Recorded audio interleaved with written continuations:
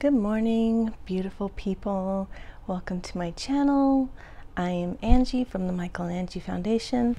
This is Michael. He's no longer with us in person, but he is with us in spirit. If you're new here, he was my cousin. He was also my husband, and he passed away July 3rd. Today, I just want to speak about gratitude. Gratitude is one of those virtues that is often underestimated, but it can be extremely powerful. It can be extremely transformative, and that's why I think it's worth talking about and I think it's worth focusing on today. So, I'm going to quote a scripture for you guys. Well, I guess I'll paraphrase. it goes, He who hath more will be given unto him, and he who hath not, the same will be taken away, even that which he hath. First, it sounds kind of mean and unfair. Like, well, if you don't even have anything, then more it's going to be taken away from you. And then if you have stuff, like it's you're going to be given more. That doesn't make sense. Like we should give to the poor, and you know the rich and people with prosperity and abundance should give. But I think what that scripture is really saying is that when you have an attitude of prosperity, abundance, and fullness, and your heart is full of gratitude for what you have, and you realize and you amplify and you magnify what you have, then more is given to you. If you have an attitude of woe is me, I never have enough, then that narrows your focus and that, that closes off your heart to receiving more.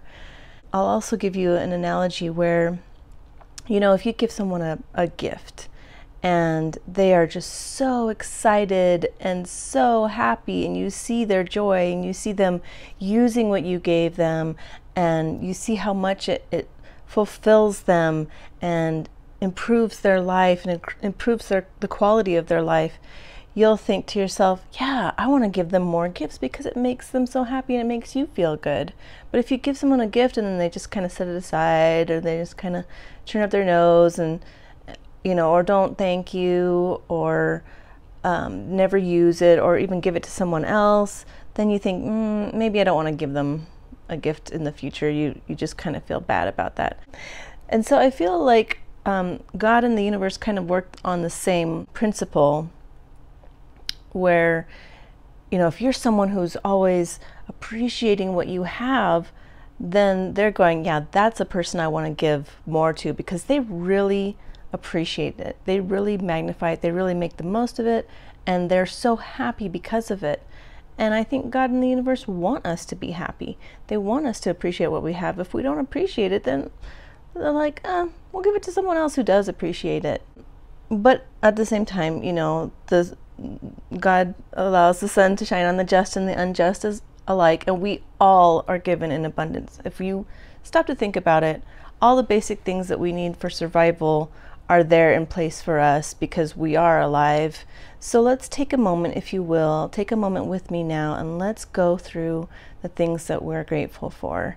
And it's not enough to just list them or say them out loud or write them down. You really got to feel the feeling of gratitude for the magic to start happening. So let's take some deep breaths.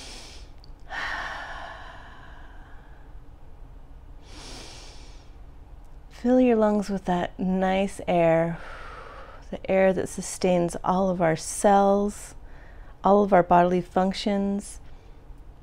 We can be grateful right now that our bodies work without us having to understand how they work and without us having to do anything. They renew themselves, all the cells renew themselves.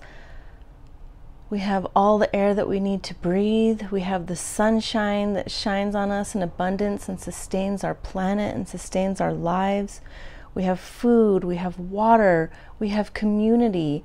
I'm grateful for all of you viewers. I'm grateful for your participation.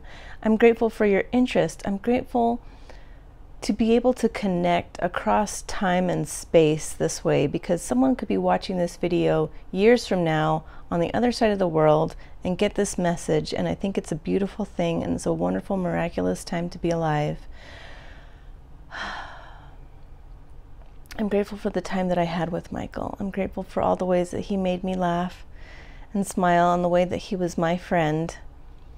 And he would often say, We're friends before anything else. So thank you, Michael, for that. Um, I'm grateful that I had the chance and I have the chance to be a mother again and to start on a grand adventure of parenthood with Michael and and be able to share with him the experience of parenthood.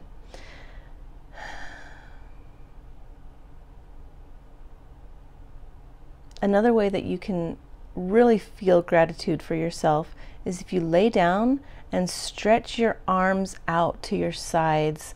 This is an open gesture of receiving, and it works great as you lay there.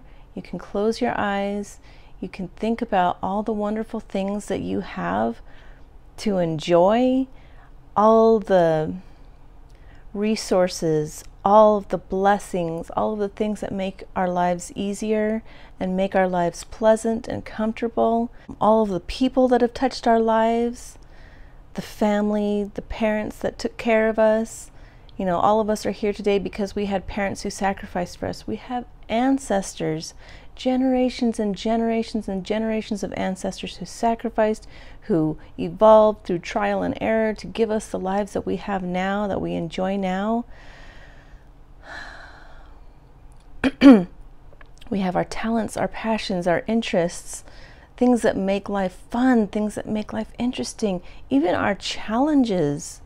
Even our trials and our challenges and the painful things in life are things to be grateful for because we learn and grow from them.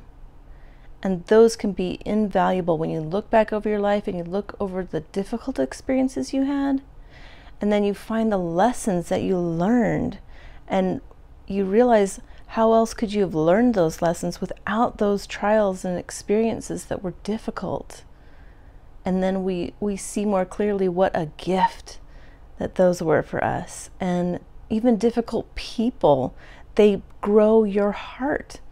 They cause your heart to expand, to be able to accommodate and love to a greater capacity than you thought possible. keep taking those deep breaths, feeling that gratitude.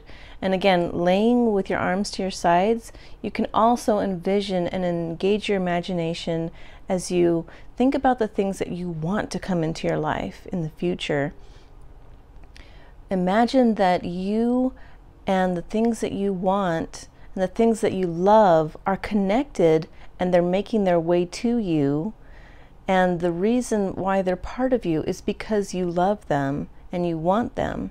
And so they're already yours, they're just on their way to you. So that is a great exercise. And I'm telling you, every time I do it, it makes my heart feel so good and so happy and big and expansive. And it's, I, I seriously suggest you guys try it. It's one of the best feelings to lay there and just bask in this abundant feeling and this glow of, yes, good things are coming to me. The universe and God love me. They want me to be happy. They want me to enjoy abundance. They want to shower me with blessings, and all of us.